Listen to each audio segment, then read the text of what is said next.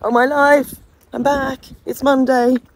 The sun's shining, but it's absolutely tipped down all night. The caravan was almost rocking. It was just hammering against the windows. But the sun's shining now, so that's all good. We've got a busy Monday ahead of us. We've got three lots of visitors into our friendship barn today, which is really nice because it means that Hidde, Teddy Bear and Wren are going to get some extra loving and pampering in there. So join me for the rest of the day. I'm pleased to say that this little man is far more comfortable now. That's a really good walk on him. And it just shows, you know, when, when they get laminitis, you do literally have to cut right back on what they're eating. And then it takes a couple of days before everything settles down and they're comfortable again on their feet. So he's literally just got plain chaff there, soaked with a bit of water. It's got no sugar. Oh, look, we've got Twix come to say hello. Good morning, sweetheart. But he's a much happier boy. You can tell in his whole demeanour. So that's a relief.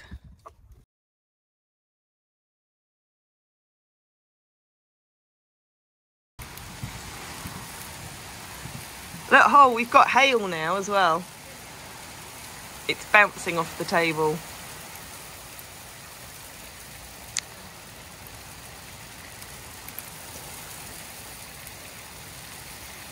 As somebody mentioned on a comment that apparently it's been the wettest winter ever recorded since the 1800s.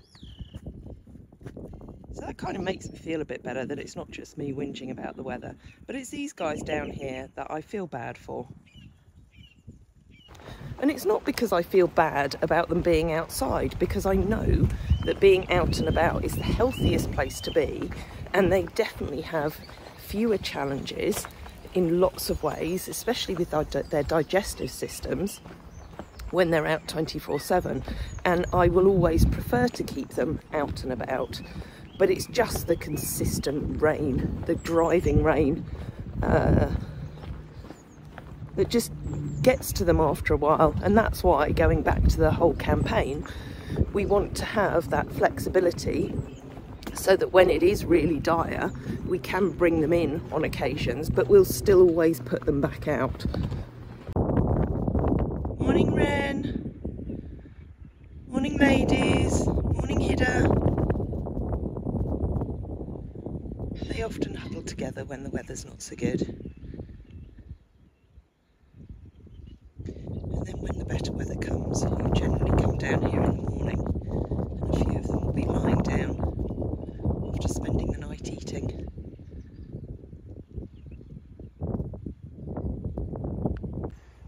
Oh, those lovely little faces. Little My My. Nikki News and Annie. Annie won't be impressed having to stay out in this rain. I'll have to check her skin today. Little Dow Dow. She's a very important one. You know, she needs to be out and about and moving the whole time because I know that she's prone to gastric problems so it's really important that she keeps moving and keeps everything flowing. There's Zhao. Little floppy doo. Oh, it's a tough night, wasn't it, darling? Yodel. Oh, Hidde.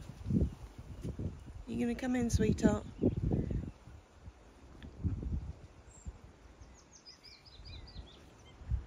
And then little Pepper. The rain's stopped now for a minute, and I believe it's going to be dry the rest of the week.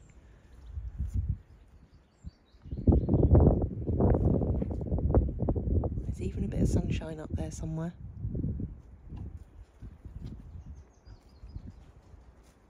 Everyone's yawning.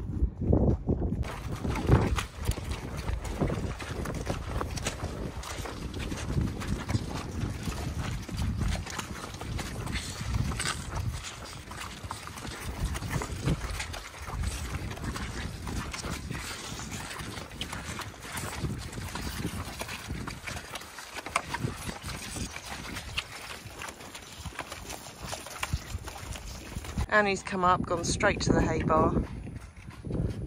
Teddy's in here for now, having his morning roll.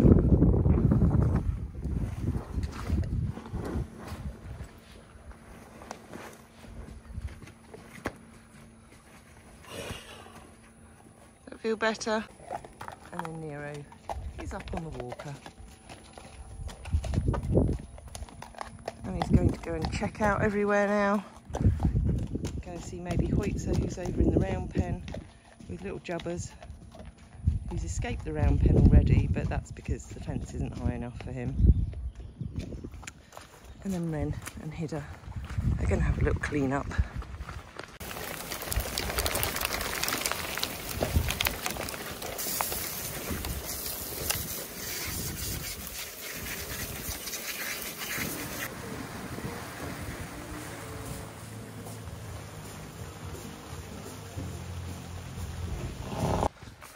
Hidde defluffed. He's even getting new shoes today. So look, we got Chris here. And I was just talking. Well. Yeah, yeah, you've got new shoes. Hidde's getting new shoes. It's a good new shoe day. I haven't got new new shoes. Oh, that squealing over there is JB and Nero having fun. But I was just talking to Chris about our gateway, and Chris is very kindly going to do us a quote for some gates to go across here. Because if you haven't picked up on what other things that Chris has done and made for us, he made the bed that's in stable stays, but also, see, he's more than just a farrier. He made these doors on the friendship barn, and going in here, he made this beautiful gateway that we have in here too, that slides across so that anybody in the friendship barn can get in and out easily. All made, all designed by Chris and made by hand. So he's going to take some measurements down here today and put a surprise together. Hidde's got his lovely shiny new head collar on there. He's got his new shoes and he's just having a quick leg trim to take all these fluffy bits off just to make him look a little smarter before his visitor arrives. So this isn't a full leg clip, it's just really a tidy up of all those long guard hairs. So this is more for aesthetics than anything else.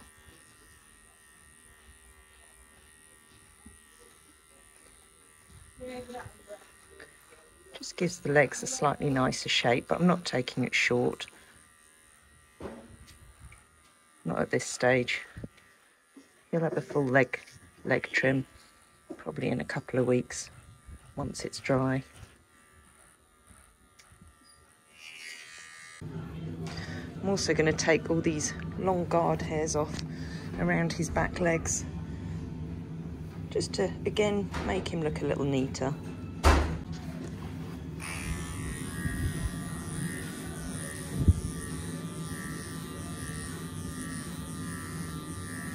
They would naturally come off anyway now that it's warming up. So we just help them on their way.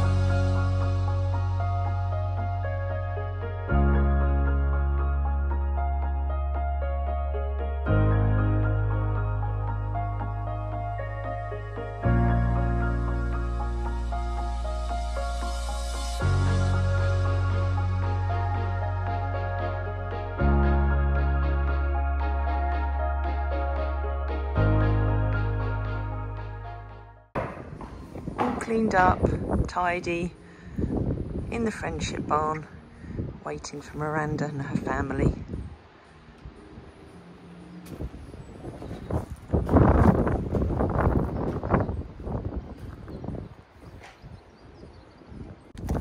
Ren's got her new shoes on, she's just checking them out, making sure that they feel good.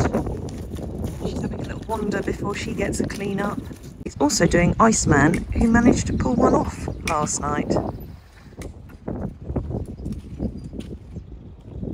That was probably a protest because he knew that Jodie was off lambing and isn't here for the next couple of weeks. Little Jubba's turn for a toe trim. Poor Chris has to get down on his knees.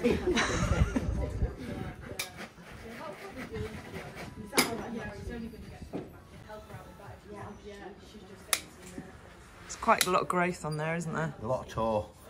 Not so much on the bottom, there's a lot toe. He grows forward, doesn't he, with his lammy? Yeah,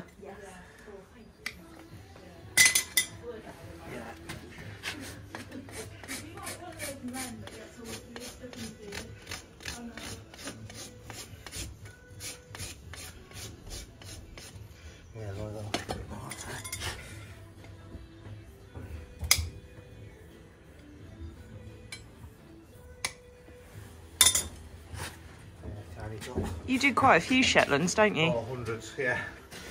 I do 30 in one place.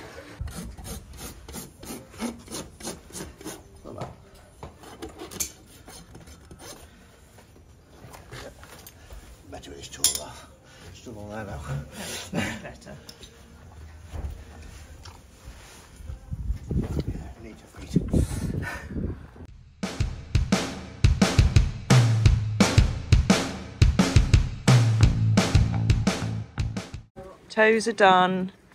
He's going back out with Nero. Interesting, Chris said that he's had a little bit of lammy in his back feet as well. Is that quite unusual? No, not really. No? No, they can quite often in the front, but when they've had it a few times, like then you do five to get in all four. It's not common. Okay. But he's walking so much better than he was the other day. Miranda and her mum and husband have had, I think, a great time in the friendship barn with Hidde, and I think this is a true testament to how much pampering and loving and scratching and massaging he got by the amount of hair that's on the floor here. And I took a huge amount out of him this morning, but it's all just pouring out. So they're all going to have those glorious summer coats very soon. These two also kept them very entertained in there because Nero had his foot up, the, up on the fence, he was taking the rope, he was playing with jubbers. So double entertainment. Hidde for cuddles and scratches, and Nero for the hilarity factor. And around, and ready for Teddy Bear. And Donna, one of his number one fans, coming to spend time with him this afternoon. Reunited. Donna's Donna's bought us gifts. Donna and Matt. you can't hide away from the camera. So I'm going to ask you now to explain this gift that, that you've bought us. So that's that's uh, my uh, treat for me. Uh, it, it's cold brew coffee. So I thought I'd come and uh, and, and share this. Oh, you are sharing it. I was going to say when you said it was a treat No, no, for you. it's all for you. Uh, Share the experience. it goes well with uh, chocolate. Yes. So it's perfect because it's arrived just at coffee time. So, Hole, you put the kettle on, have you? You put the kettle on, yeah? Go put it on. Yeah. So we we can add some hot water to this. This remind me again what it's called. Cold brew coffee. Cold brew coffee. I'm sure that Hol will give you a score out of ten after we've drunk it. Yeah. We'll get Freya to make a spreadsheet. Yeah, she could do, couldn't she? yeah. Anyway, you're gonna head in here with Teddy Bear for a bit. He'll want the chocolates as well, but you can't have them, Teddy. So yeah, I've brought you my nice special box. Uh, Cadbury's 200th birthday. She. Oh, wonderful. Yeah, I did. I made you a biscuit. It looks like a little gingerbread man with a hat on, with a crushed up face. It is a ginger biscuit. Is it? Yeah, sorry, that's really bad. I should have brought three, but I only brought one because I was expecting you to eat it in the morning. Oh, sorry. So sorry, I haven't brought you to a biscuit. That's fine. I'll bring one next time, I promise. Oh, all right, Kaz. Yeah, all right, absolute savagery. Yeah, that was a Karen moment. No, oh. That's Yeah. awful. Just ignore it, Kaz. yeah, yeah, I do. Yeah, yeah. I'm drinking my cold pressed coffee as Oh well. yeah, Mm. but it's okay. Here, Kaz, because you feel so put out about the biscuit, you can do the honours of opening and choosing the box. I'm going to try your First. biscuit. You're not trying to poison me, are you? Yeah, trying to finish you off. It's a, it's it's a ketogenic take. Softer than I thought. Yeah, it should have been a bit harder. I didn't bake them for long enough, but you know, that. do you? Mm. Yeah, it's um, gluten-free flour, a bit of almond flour, Ginger in it, like Yeah. ginger, fresh ginger. um, just ginger, like dried spice, a bit of kind of ginger paste, and then there's uh, bits of crystallized ginger in it. Mm. And then the icing is ketogenic icing sugar with ginger in it and a bit of cinnamon, and then that's just dark chocolate. This is a good lunchtime. I Good. I, I think we will work for this. Oh, yeah, I think we to have. a biscuit. yeah, so we've had um, Miranda, who's one of our lovely patrons. It was her first visit with her mum and her husband, and they had little hiddy hops in there. Hmm.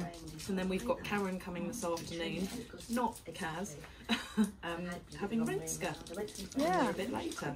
So busy day, and then we have Jill coming, who I met many many years ago, and she's had a number of Friesians in her life, and she's coming for a night in Stapleton. Cool. So yeah, good day. Mm. Now, with Jodie off lambing all her beautiful sheep over the next couple of weeks, I get to work a little bit with Iceman, who he's such a fabulous horse, and I haven't done a lot with him because he, I leave him as Jodie's project. But the times that I have worked with him, he's just beautiful to work with. I can see why he's a favourite of so many people. So he's had his, his fresh shoes on this morning, and I'm just going to do a little bit of groundwork with him today and see how we get on. But the fact he's come in here straight away and he's looking, licking and chewing already and yawning shows that he knows that as soon as he comes in, he needs to learn to switch off and just relax through his whole body.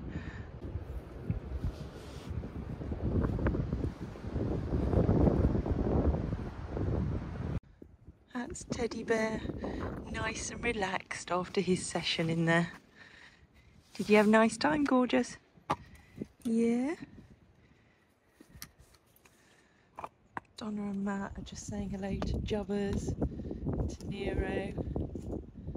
Paul's just turning it around in the friendship barn. And then it's Renske's turn. Little Auntie Wren. Get some time in there. She's going to sleep already. Because her and Hidde had a very rough night last night. Which is why it's really lovely for them to go in there. So, as I always say, it works both ways. The horses love it, and our visitors love it. What are you doing with your eyes? Look at that beautiful mane. Have you got something in your eye, darling? Eh? You got something in your eye. Here we go. Give it a little rub for you. Do you want me to put some drops in? I think it's probably just the wind, isn't it? Let me get you some drops. Beautiful girl. You're very beautiful. Black and gold head collar as well. Because you're the golden girl. I think it's just the wind that made her do that strange thing with her eyes, but we'll just put a few drops in just to make sure. There's nothing in there irritating her. Good girl. Oh, let that out. Hang on. There we go. That way, if it did just get irritated by a bit of hair going in there, that's going to soothe it.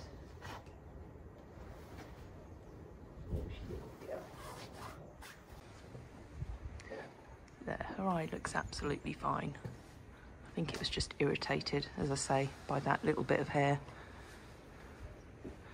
that was blowing in the wind. Are you ready to go and have a sleep now, Ren? I think you are. And now it's Renske's turn.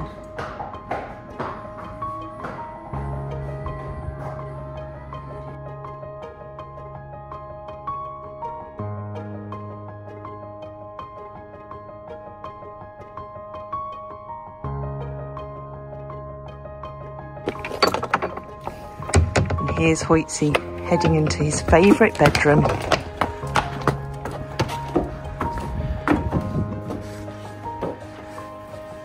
Where he likes to have his tea straight away. And then his guests will be joining him shortly for another night in stable stays. I'm just in the car with Bailey, just taking him to his, his weekly vocal coaching. And you've just opened a parcel addressed to you.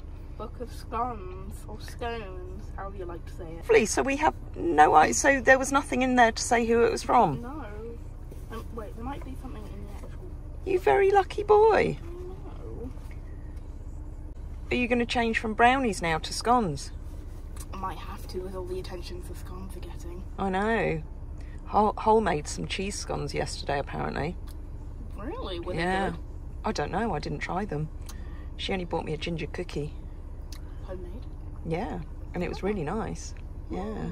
Oh, so go on, quickly find a recipe in there. What ones are you going to try next? I don't know. Uh, I really like the idea of the wild garlic scones yeah, I've got because it is wild garlic season. Yeah. Uh, uh, there's Ulster scones, um, wholemeal fruit scones, Oh. rhubarb and stem ginger scones, Oh, that's different. salted caramel and apple. Oh, you're making me hungry now. Scones, wet Nelly. Right, an I'm going to have to start driving. Is there? I'm going to have to start driving now. So, what would you like to say to whoever it was who bought you this book? Thank you. Thank you so much. Uh, this is going to be very, very well used. I don't think be it, obese in the next video. I don't think it will stay that clean for long, will it? I'll try and make make sure it stays clean. Also, Will, will you get a video of the the next baking session you do? if I can figure out how to film correctly. Oh, you can film well. Give it a go. Anyway, thank you to whoever Yes. bought I baby do this have to book. just say one thing though. It is officially settled from the National Trust. It's jam first and then cream. officially settled. Let's have a look. It is. Yeah. But then again, what if you just cut it cut it in half, jam on one piece, then cream on the other? Then perfect Absolutely. together. Perfect.